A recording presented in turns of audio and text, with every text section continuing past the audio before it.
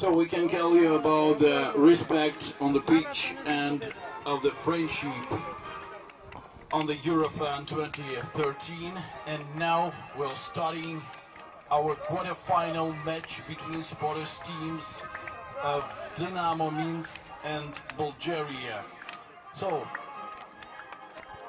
to our squad lists, both of the teams. The supporters team of Bulgaria, number one, Georgi Dimitrov. Number two, Zdravko Malchuna Roglev. Number three, Giovanni Dimitrov.